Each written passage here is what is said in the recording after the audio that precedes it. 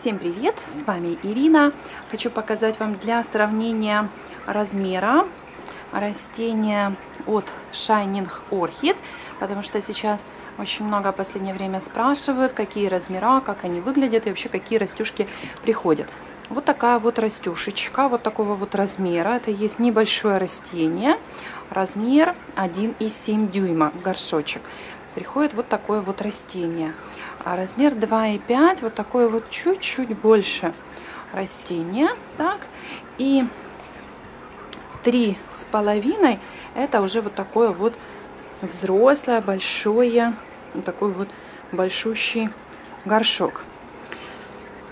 Спрашивали, какие растения цветущие, какие не цветущие, какие будут цвести, а какие не будут. Хочу показать вам на примере вот этой вот крошечки.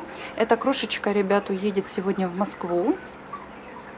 Что вот эта вот крошечка у нас тут проклевывается одновременно и корень, и цветонос.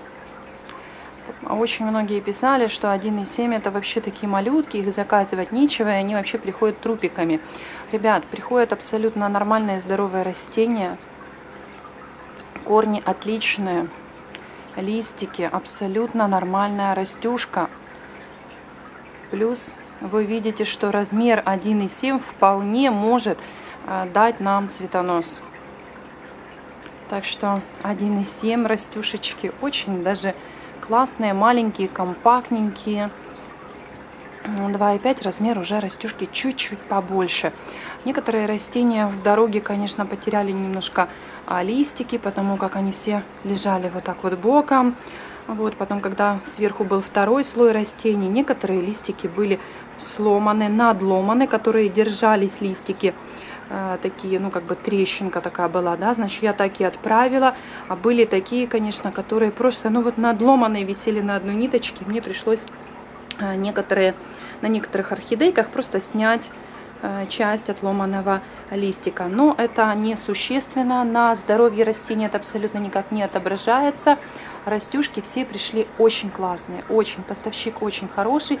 Я очень довольна этими растениями, поэтому я думаю, что это не последний наш заказ именно у этого поставщика.